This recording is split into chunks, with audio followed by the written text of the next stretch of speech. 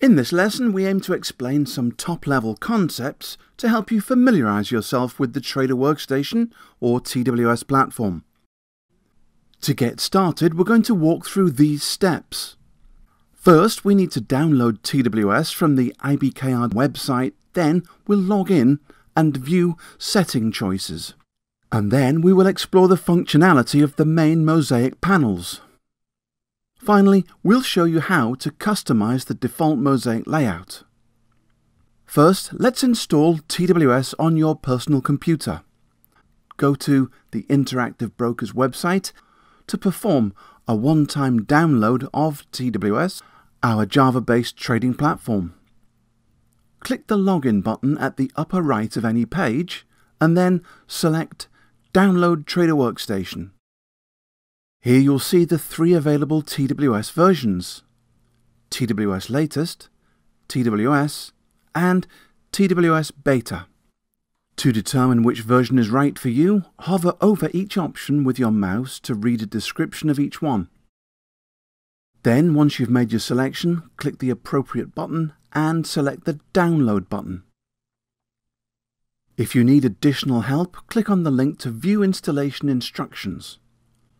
Now that you've downloaded and successfully installed, go ahead and launch Trader Workstation.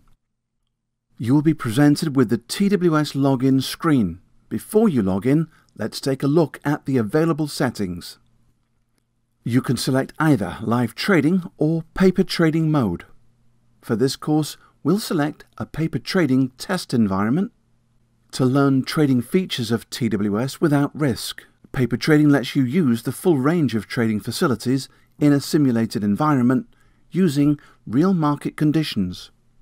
Click More Options to see additional login related settings such as switching TWS versions without downloading additional software, selecting a preferred colour theme for TWS, classic, dark or light, define your language setting, adjusting your region and time zone, and more.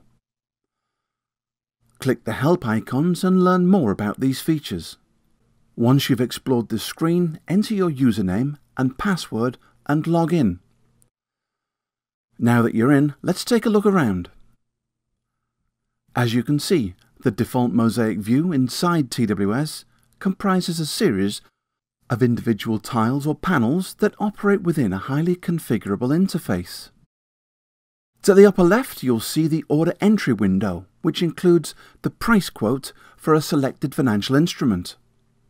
This window enables you to quickly configure a buy or sell order, which you can then submit to an exchange for execution.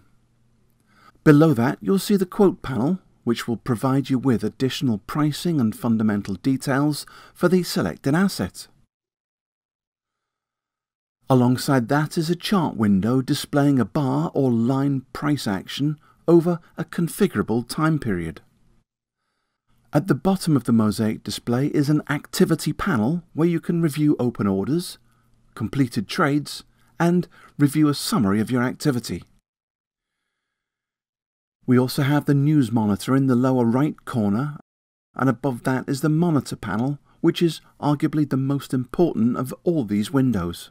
Here you can display many symbols along with a host of configurable columns containing valuable trading information. We'll take a closer look at the monitor panel in a later lesson where we will show you how to access your portfolio tab, open multiple watch lists, and even create market scanners.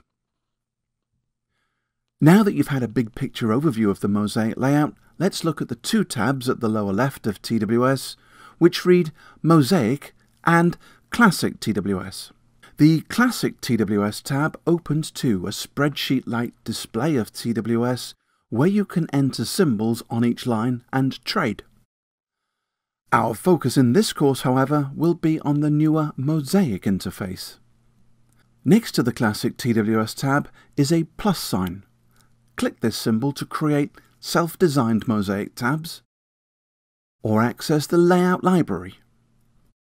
When you click Browse beneath the Layout Library image, you'll see a myriad of predefined Mosaic workspace layouts based on specific workflows or instruments. You can customize these predefined layouts or create your own from scratch. You may wish to run multiple tabs inside TWS by using the Layout library to customize your own workspace. To add a predefined layout to Mosaic, simply click the Add Layout button. Now you will see the new layout display on your screen.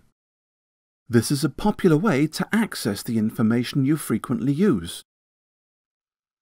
Each layout that you add or create is added as a tab at the bottom of the screen. Let's go back to the default Mosaic tab.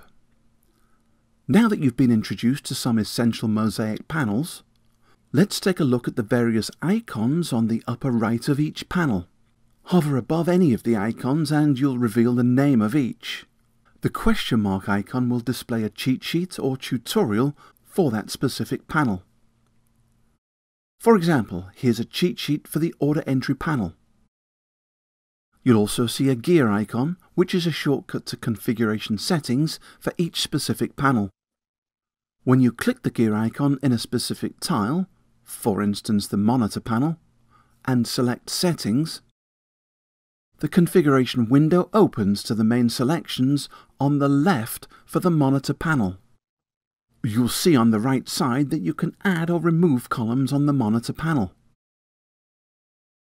The other important icon here is that little green chain link which enables users to group windows together. For example, watch what happens when you select a ticker in a watch list. The other panels that are part of the same color-linked group update for that ticker. Assign a panel to a group using the colored links on the top right of the Windows title bar.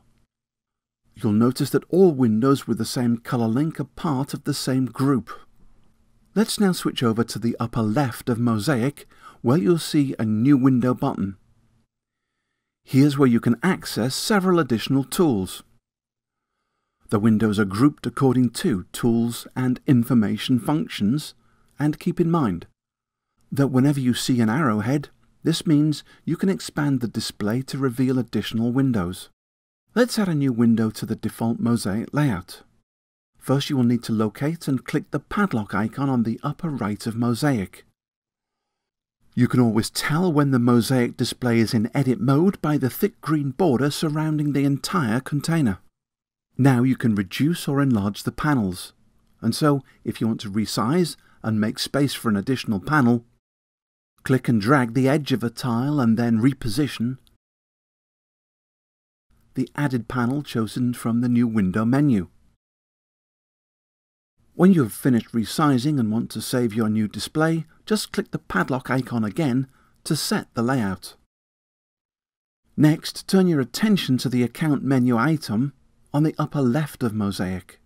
Here's where you can view your account information such as your reports and statements, subscribe to additional market data, and more.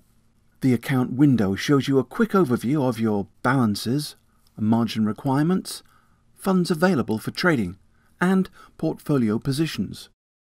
For more account information, select Account Management Home. If you can't find what you're looking for, no worries, simply use iBot to help you search by typing a question into the bottom input field. iBot will help find the right answer for you. You can access the Help menu to view user guides and customer service information. Look out for more lessons from this course by selecting the Education menu on the IBKR homepage and choosing Traders Academy. Or for additional related material, refer to the Introduction to Order Types and Introduction to Charts courses from Traders Academy.